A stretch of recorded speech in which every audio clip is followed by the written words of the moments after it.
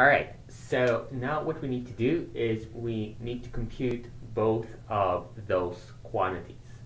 So this one is easy.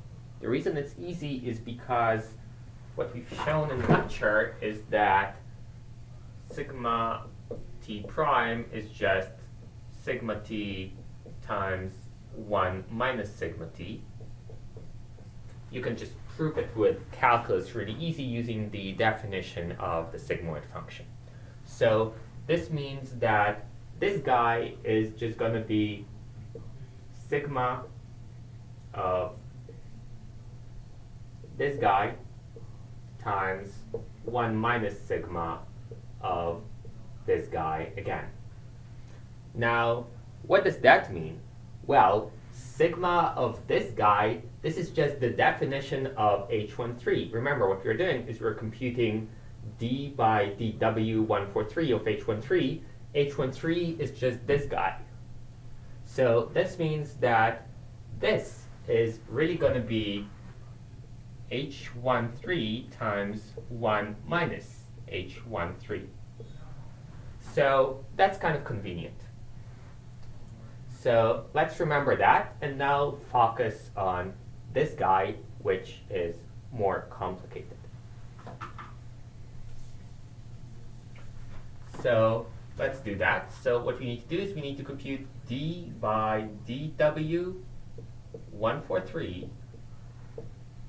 of this sum of the sum over j of w1 j3 times xj plus b 1, 3.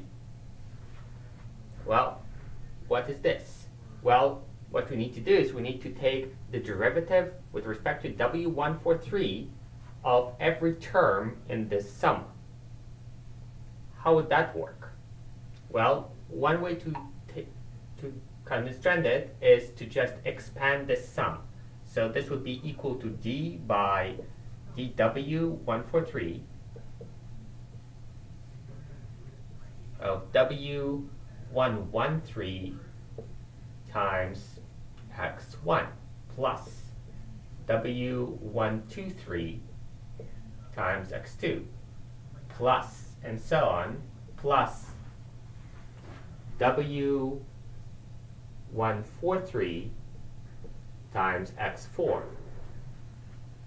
plus, and so on, plus b one three. Well, what is this? Well, if you try to change w143, this guy wouldn't change, and this guy wouldn't change, and this guy wouldn't change. In fact, the only term that would change is this guy, because if you change w143, well, this guy grows.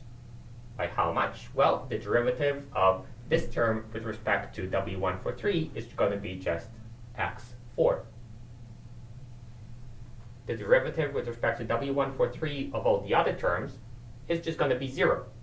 So what that means is that this is going to be equal to x4. What does it mean? It means that we can we computed this, we computed this, turned out to be just x4, which means that we get to write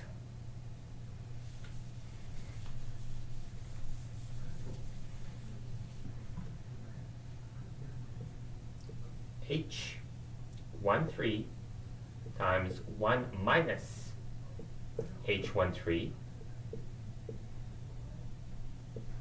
this is this guy we worked it out, times